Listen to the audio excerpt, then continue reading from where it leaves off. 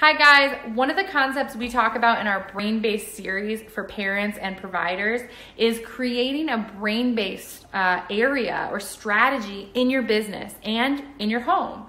Uh, and what this is, it's really, really simple. The first thing is understanding and identifying what a what the primary trigger of stress response or deflections is for your child. So, meaning, is it when you go somewhere noisy and there's a lot of noise that you see that their need to touch things or their need to talk or their impulsive behavior, i.e., their deflections, increase?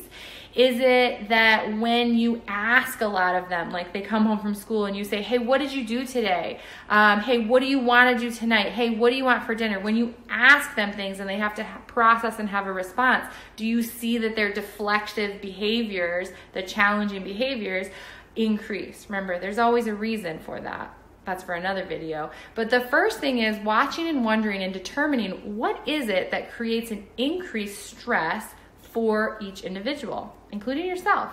And then we can create a break with the child, with the adult. We can do it for ourselves. If it's a noisy environment, if it's a lot of auditory input, perhaps a great strategy to develop with your child for your child um, when you see increase in deflective behaviors is that they can have something that controls their auditory env- environment they have headphones that they can put on for five or ten minutes to allow to con- that for them to control their auditory environment because all this noise that's uncontrolled by them and they have to process is creating this stress response that would be a really appropriate, specific brain based strategy to help decrease deflections for that child.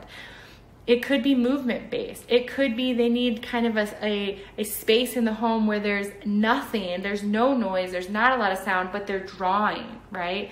So first thing is develop is, is developing an understanding and determining what type of an environment or stimulus increases the deflective behaviors.